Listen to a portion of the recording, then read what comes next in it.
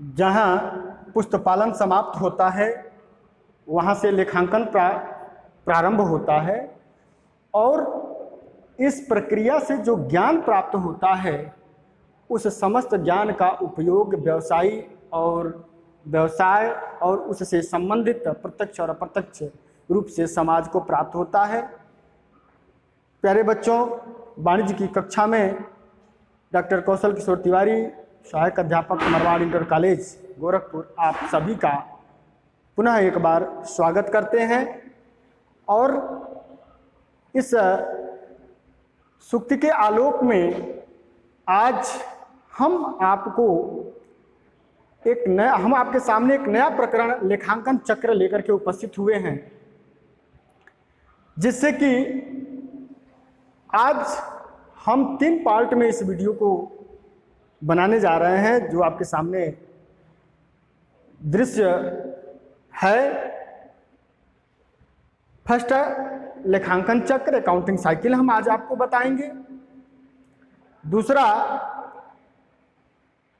जो basic concept clear होना चाहिए वाणिज्य के विद्यार्थियों के लिए, वह है अकाउंटिंग और अकाउंटेंसी में डिफरेंस अर्थात लेखांकन और लेखाकर में मूलभूत अंतर क्या होता है? पुस्तपालन की बात हम कर चुके हैं। और इस क्रम में लेखांकन चक्र एक जिस प्रकार मनुष्य का जीवन या किसी भी जीव जीव का जीवन जो होता है, एक चक्र में होकर के और अपने पूर्णता को प्राप्त करता है, पुनः उसके बाद चक्र शुरू होता है। ठीक उसी प्रकार से जो आप लेखांकन करने चलते हैं तो अभी एक चक्र में पूरा होकर के ही वह पुनः उस जगह पर पहुँचता है। इसके लिए दो बातें आपको ध्यान में रखना होगा। जब भी चक्र की बात आएगी तो वो समय से जुड़ा होता है। इसलिए हमारा जब लेखांकन की प्रक्रिया प्रारंभ होती है तो एक पर्टिकुलर टाइम में हम इसको बांधने का प्रयास करते हैं। क्योंकि किसी भी व्यवसाय का जीवन जो होता है, वो असीमित होता है। और एक ऐसा नहीं है कि हम आज व्यवसाय प्रारंभ किए और कल हम उसका परिणाम निकाल लिए। पुनः वो समाप्त हो गया। ऐसा होता नहीं व्यवसाय ऐसा भी नहीं है कि हम आज प्रारंभ किए और दस दिन के बाद, दो साल के बाद, चार साल के बाद हम उसे बंद कर देंगे। वह तो एक दीर्घकालीन प्रक्रिया है, प्यारे बच्चों।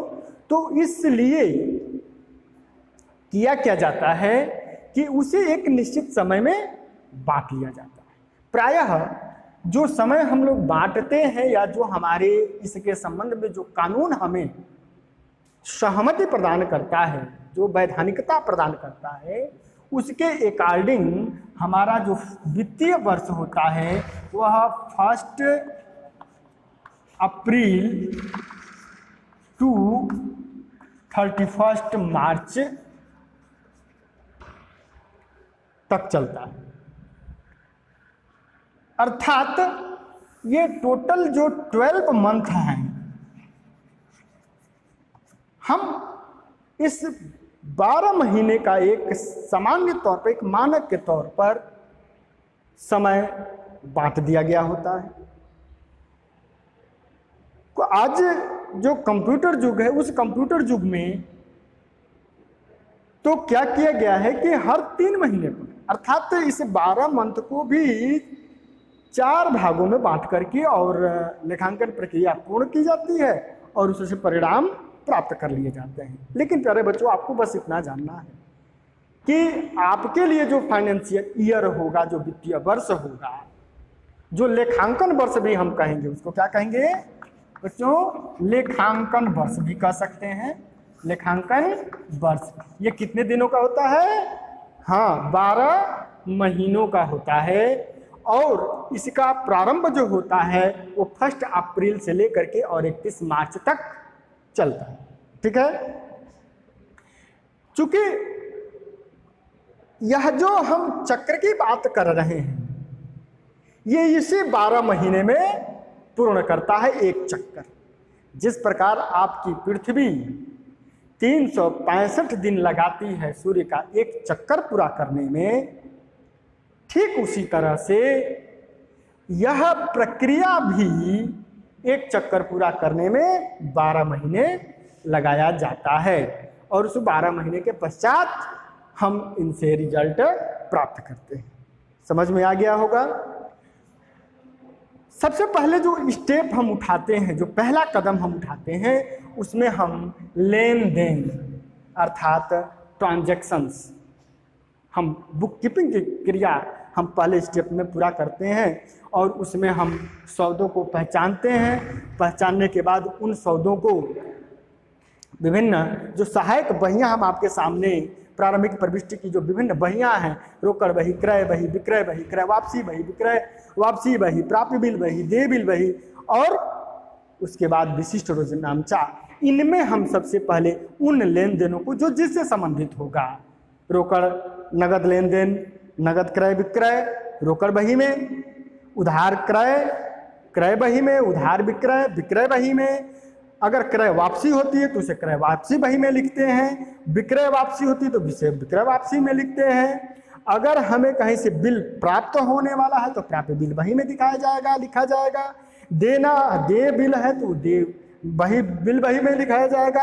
और इन सब के बावजूद जो चीज़ें बच जाती हैं, उसे हम विशिष्ट रोजनामचा में प्रदर्शित करते हैं। तो इस प्रकार हमारा यह पहला स्टेप समाप्त होता है। और जैसे ही पहला स्टेप समाप्त होगा तो दूसरा कार्य, यानी दूसरा स्टेप हमारे सामने आ जाता है। हम उसको रोजनामचा, जर्नल यह जर्नल की प्रक्रिया इसी वही में जो नियमानुसार, जो सिद्धांत के अनुसार हम लिखते हैं। ठीक है? तो एक चीज़ यहाँ पर हम आपको बता देना चाहते हैं।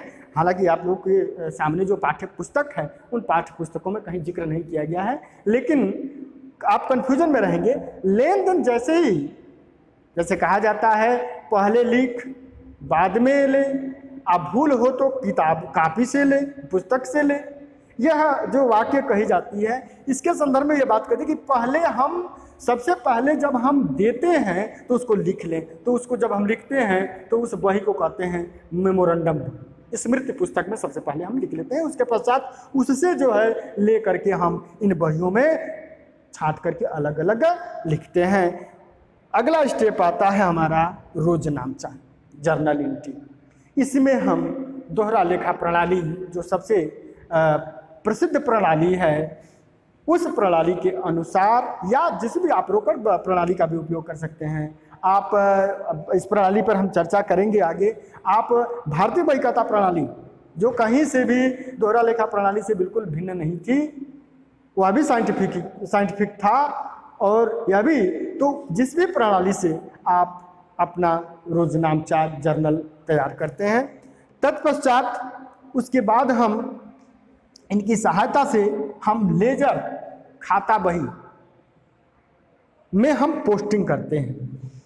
पोस्ट करते हैं। पोस्ट करने का मतलब एक जगह से उठा करके दूसरी जगह ले जाने को ही हम पोस्टिंग कहते हैं। तो इस लेजर बुक में एक बही है। उसमें हम वर्गीकृत करते हैं। इट मीन्स एक नेचर की, एक व्यक्ति से जुड़ा, एक देनदार, एक लेनदार का खाता, एक संपत्ति का खाता, दायित्व का खाता, हम उसमें अलग अलग करके और उससे संबंधित मदों को हम पोस्ट करते हैं। यहाँ तक पोस्ट करने के बाद हम इसका जो शेष निकालते हैं, हम जो इसका जर्नल का हम योग करते हैं, उसके बाद जब हम खाता बही में लाते हैं वर्गीकृत करके तो प्रत्येक खातों का हम शेष निकालते हैं। उस शेष की सहायता से हम अगला स्टेप अर्थात चौथे स्टेप पर पहुँचते हैं। हम यहाँ पर तलपट तैयार करते हैं, जिसको हम परीक्षा सूची भी कहते हैं। ये हमारा परीक्षा सूची सुनाते हैं कि यहाँ तक के किए गए कार्यों को बहुत हद तक त्रुटियों को दूर करने में सहायक होता है। हमें यहाँ पर सूचना भी ये दे देता है। तो हम यहाँ पर तलपट तैयार करते हैं। यहाँ तक की जो गतिविधि होती है प्यारे बच्चों, वह आपके बुक कीपिंग की गतिविधियाँ कहते और तत्पश्चात लेखांकन का कार्य पाँचवें स्टेप पर हम पहुँचते हैं और यहाँ पर हम इन शेष की सहायता से, इस परीक्षा सूची की सहायता से हम व्यापारिक खाता लाभ हानि खाता और स्थिति विवरण तैयार करते हैं। और जब यह तैयार हो जाता है, इनसे हम परिणाम प्राप्त करते हैं, उसका निष्कर्ष निकालते हैं, निर्वचन करते हैं और सूचना एकत्रित करके संबंधित को प्रसारित किया जाता है। पुनः अब हमारा एक वर्ष पूरा हो जाता है और उसके बाद पुनः हम अगले वर्ष में प्रविष्ट करते हैं और यहाँ पर यह लेन देन शुरू हो जाता है। पुनः अगले बार अर्थात एक चक्र पूरा हो जाता है। अब हम अगले बात करते हैं, प्यारे बच्चों। लेखांकन चक्र के पश्चात आपके सामने यह स्पष्ट कर देना आवश्यक है कि यह किन प्रोसेस किन विधियों से होकर के गुजरता है और अपनी पूर्णता को प्राप्त करता है। प्यारे बच्चों, हम अकाउंटिंग प्रोसेस की बात कर रहे हैं। लेखांकन विधि क्या है? क्या प्रक्रियाएँ हैं इसमें कैसे कैसे हम पहुँचते हैं, अपने लक्ष्य को प्राप्त करते हैं? अर्थात, हम उस ज्ञान को प्राप्त करना चाहते हैं, जो उस व्यवसाय और व्यवसाय के प्रगति में सहायक है। तो सबसे पहले हम बुक कीपिंग की क्रिया संपादित करते हैं, जिसके अंतर्गत हिसाब किताब करने का जो प्रारंभिक अवस्था है, वो आपका पुष्प पालन होता है। उसके पश्चात जो द्वितीय अवस्था है सेकेंड स्टेज है, वह है लेखांकन और उसके पश्चात जो तीसरा अर्थात पुष्प पालन और लेखांकन दोनों पर निर्भर करता है। यह अपने आप में अगर देखा जाए तो इसका एरिया जो है, वो काफ़ी ब्राड है। लेकिन जब तक ये दोनों पूर्ण नहीं होगा, वो लेखा शास्त्र का रूप धारण नहीं करेगा। शास्त्र शब्द जब अपने आप में जुड़ जाता है तो उसके तमाम कंपोनेंट्स हो जाते हैं। तो वो कंपोनेंट्स आपके बुक कीपिंग है और अकाउंटिंग है। अतः हम यह कह सकते हैं कि ये इन्हीं दोनों पर निर्भर है और तब जाकर के यह एक ज्ञान का पुंज बनता है, एक ज्ञान का भंडार बनता है, जिसे हम अकाउंटेंसी या लेखा शास्त्र कह सकते हैं। अब जो भी प्रक्रिया हम इसके बीच में अपनाते हैं, उनको हम सात प्रक्रियाओं में बांटते हैं। यहाँ तक आकर के यह लेखांकन अपने पूर्णता को प्राप्त करता है। इस प्रक्रियाओं में मैंने आपको यहाँ पर दिखाने का प्रयास किया है, ताकि आप बुक कीपिंग अकाउंटिंग और अकाउंटिंग और अकाउंटेंसी पुस्तपालन, लेखांकन और लेखाकर में अंतर स्पष्ट कर सकें इस दृष्टिकोण से हमने आपके सामने ये सातों क्रियाओं को यहाँ पर हमने नोट किया है। लेखांकन, सूचना की पहचान करना, प्रारंभिक लेखा पुस्तकों में उसका उल्लेख करना, खाता बही तैयार करना और परीक्षा सूची या तलपट तैयार करने तक का ये सारे जो कार्य आते हैं, वह बुक कीपिंग के अंतर्गत आता है। प्यारे बच्चों, उसके पश्चात जब हम इस परीक्षा सूची के आधार पर जब हम अंतिम खाते तैयार करते हैं तो ये अंतिम खाते और अंतिम खातों का जो हम विश्लेषण करते हैं, जो हम एनालिसिस करते हैं एनालिसिस का तात्पर्य होता है दो तथ्यों, दो आपसी सहभागी तथ्यों को मिला करके जो हम परिणाम की व्याख्या करने की कोशिश करते हैं, वो विश्लेषण के अंतर्गत आता है। तो वो प्रक्रिया जो होती है वो अकाउंटिंग की प्रक्रिया कहलाती है। उसके बाद जो सातवां क्रिया है, ये सूचना का संक्षेपीकरण करते हैं। यहाँ पर भी विश्लेषण किया जाता है और उसका निर्वचन किया जाता है और तब उसके बाद संबंधित विभागों को, संबंधित प्रबंधकीय व्यवस्था को व्यवसायी को सरकार को, समाज के वो लोग जो आपके व्यवसाय में हित रखते हैं, उन सभी को सूचनाएँ देने का कार्य किया जाता है। तत्पश्चात आपका यह लेखांकन प्रक्रिया समाप्त होता है और इन सभी को मिला करके हम अकाउंटेंसी कहते हैं। तो अब आप समझ गए होंगे कि बुक कीपिंग अकाउंटिंग और लेखा कर्म इस दिए गए तथ्य के आधार पर आप इसे भली भांति परिचित हो गए होंगे। अब हम आपको अगला पुस्तपालन के संदर्भ में बताने जा रहे हैं। हमने पुस्तपालन और लेखांकन और लेखाकर्म का जो अभी आपके सामने विभिन्न क्रियाकलापों को रखा तो आपको अब समझ में आ गया होगा कि पुस्तपालन के अंतर्गत कौन कौन सी क्रियाएँ संपादित की जाती हैं।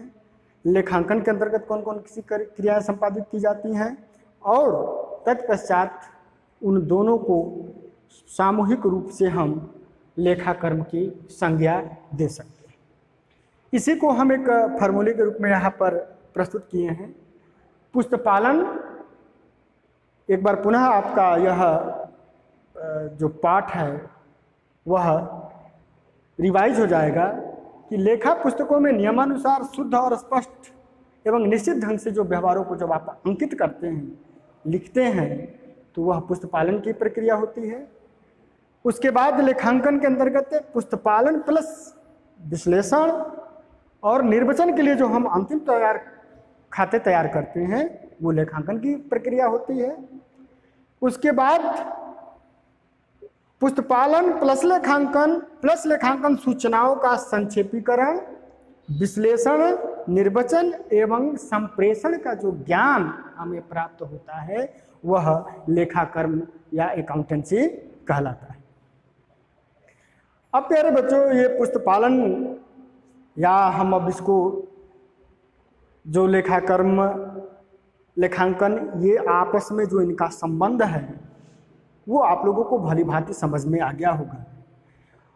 और अब ये प्रश्न उठता है कि इनका लाभ क्या होता है? अर्थात इसका महत्व तो क्या है?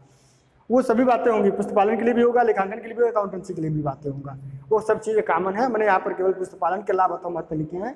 तो ऐसा नहीं है, वही लाभ और महत्व आपका लेखांकन का भी होगा। और अगर अकाउंटेंसी की बात कहीं कोई करता है लेखाकर्म की तो वही बात आप यहाँ पर मानेंगे। पुस्तपालन के लाभ अथवा महत्व पर हम प्रकाश डालेंगे तो सबसे पहले कर्मचारियों पर नियंत्रण। प्यारे बच्चों, आप जानते हैं कि क्रय विक्रय की क्रिया की जाती है लेन देन होते हैं, और यदि वो तत्काल में अगर कहीं रिकॉर्ड नहीं किए गए तो आज आपके जो कर्मचारी है, वो कहीं गया है कोई चीज़ खरीदने अगर उसका रिकॉर्ड लेकर के नहीं आया, भूल गया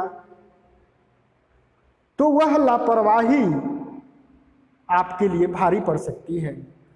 आपका जो लेखांकन, वह सही सूचना देने में असमर्थ हो जाएगा। एक चीज़ तो इसके कारण जब हम लेखांकन प्रक्रिया अपनाते हैं तो वह व्यक्ति जाता है और वह जहाँ भी खर्च करता है, देता है, लेता है तो उसके लिए जो रसीद प्राप्त होती है, वो लेकर के आता है।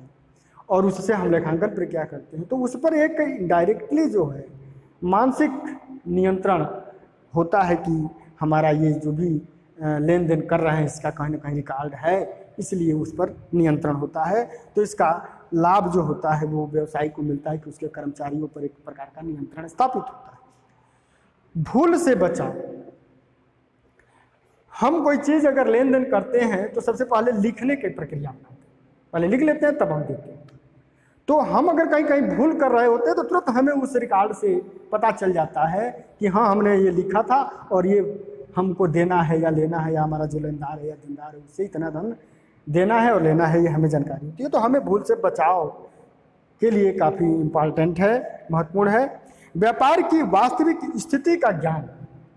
जब हम इस लेखांकन में अंतिम खाते तैयार करते हैं तो हमें संपत्तियों के बारे में पता चलता है, दायित्वों के बारे में पता चलता है, कितने लेनदार हैं, कितने देनदार हैं, और हमारे पास कितने रोकड़ हैं, ये समस्त चीज़ों का पता चलता है, जिससे कि वास्तविक स्थिति का ज्ञान हमें प्राप्त होता है। ऋण सुविधा, और आपको बता दें कि जब हमारे लेखा बही चुस्त दुरुस्त हो पुस्तपालन की क्रियाकलाप अगर सही तरीके से चल रहा है तो वह जब भी हम बैंक के पास जाते हैं ऋण के लिए तो वो हमारे लेखा पुस्तपालन को देखता है, उसे विश्वास होता है और वो हमें ऋण देने में कोई कोताही नहीं बरतता है, हमें उपलब्ध करा देता है, अर्थात हमें ऋण प्राप्त करने में सुविधा होती है। अगर व्यवसाय आपका साझे का है तो विश्वास एक दूसरे साझेदार को होता है और यह उसमें बड़ा ही सहायक होता है क्योंकि सभी चीज़ें लिखी रहती हैं, वह भी देख सकता है, आप भी देख देख सकते हैं। और दोनों के बीच, चूँकि व्यवसाय जो होता है, वो विश्वासाश्रित अनुबंध के आधार पर ही होता है। और उसके लिए आवश्यक है कि यह पुस्तपालन हुआ हो तो ये बड़ा महत्वपूर्ण योगदान देता है, साझेदारों में सहायक होता है। साझेदारी में सहायक होता है। खर्चों पर नियंत्रण, चूँकि व्यय का पता हमें चलता है। हम व्यय खाता बनाते हैं, वेतन खाता बनाते हैं। तो हमें ये पता चलता है कि हमने वित्तीय वर्ष, पिछले वित्तीय वर्ष में कितना व्यय किया, उसके पिछले वित्तीय वर्ष में कितना हमने व्यय किया है। तो हम उस पर नियंत्रण करने में सक्षम होते हैं और उसके नियंत्रण करने के लिए विभिन्न प्रकार के उपायों का निर्माण करते हैं। उसके बाद अगला है तुलनात्मक अध्ययन। हमारे पास जब कई साल के डाटा होते हैं तो हम उन डाटाओं को एक साथ ला करके पिछले से पिछले पर, और हम उसकी तुलना कर सकते हैं। और तुलना करने के बाद, प्यारे बच्चे, आपको पता है, आप ये जान जाइए कि जब हम किसी चीज़ का तुलना करते हैं तो हम उसके गुण, दोष इत्यादि सभी की हमने कहाँ कमी किया हमें कहाँ उसको अच्छा करना था कहाँ हमने बेहतर किया तो उसका कितना रिज़ल्ट कैसे प्राप्त हुआ? इसके लिए पुस्तक पालन आपको बहुत ही सहायता पहुंचाता है, काफ़ी उसके लिए इम्पोर्टेंट है। और विवादों का है। जब अगर कोई किसी प्रकार का डिस्प्यूट होता है देनदार से, लेनदार से, या आपस में साझे के बीच और यह मामला अगर कहीं कोर्ट में जाता है तो वह जज भी प्रमाण के स्वरूप आपके पुस्त पालन को साक्ष्य के रूप में प्रस्तुत करने के लिए माँगता है और उसी के आधार पर वो फैसला देता है। तो यह विवादों के हल करने में महत्वपूर्ण भूमिका निभाता है। और यह वैधानिक प्रमाण है। कोई भी प्रतिष्ठान अगर इस प्रकार का लेखा पुस्तपालन नहीं किया है, लेखांकन नहीं किया है तो वह अपने वैधानिकता का प्रमाण कहीं नहीं दे पाएगा। क्योंकि इसे वैध माना गया है। तो इन सभी महत्वपूर्ण बातों को ध्यान में रख करके पुष्प पालन करना अत्यंत ही आवश्यक हो जाता है। मुझे उम्मीद है कि आप सभी लोगों को आज के जिन जिन प्रकरणों पर हमने चर्चा किया है, वो आपको समझ में आ गया होगा। और इसी के क्रम में हम आपको गृह कार्य देते हैं। पहला है प्रारंभिक बहियों के आपको नाम लिखने हैं। दूसरा पुष्पालन के लाभ अथवा महत्व को आपको संक्षिप्त में लिख लेना है और इसी के साथ आज का यह वीडियो मैं समाप्त कर रहा हूँ। बहुत बहुत धन्यवाद।